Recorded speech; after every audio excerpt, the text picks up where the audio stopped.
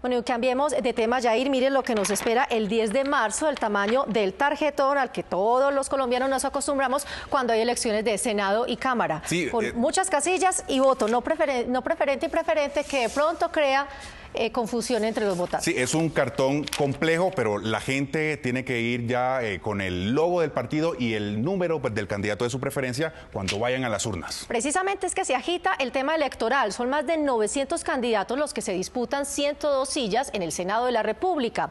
En el tarjetón diseñado por la Registraduría Nacional aparecen las 943 opciones para que usted elija una de ellas. Ana María Sandoval. Así es, Marcela Yair, tengo en mis manos una muestra en tamaño real de la tarjeta electoral que recibirán los electores el próximo 11 de marzo para elegir a los 102 senadores. A continuación les contamos cómo usted debe marcarla para que su voto no se anule. El próximo 11 de marzo los colombianos irán a las urnas para elegir a los 102 legisladores que los representarán durante los próximos cuatro años en el Senado de la República. Quienes lleguen a la mesa de votación recibirán una tarjeta electoral donde no aparecen ni las fotos ni los nombres de los candidatos. En la tarjeta electoral, el ciudadano encontrará el logo símbolo de los 23 partidos y movimientos que se inscribieron para participar en la contienda electoral y la casilla de voto en blanco. El elector deberá entonces, para dar su voto al Senado, marcar con una X en el logo símbolo símbolo del partido o del movimiento al cual pertenece su candidato.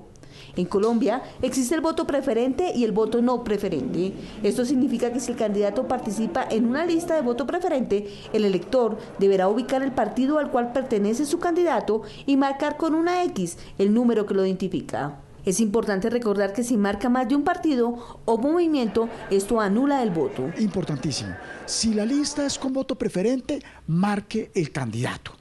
Entonces usted acuérdese de qué partido es su candidato y marca el número de su candidato.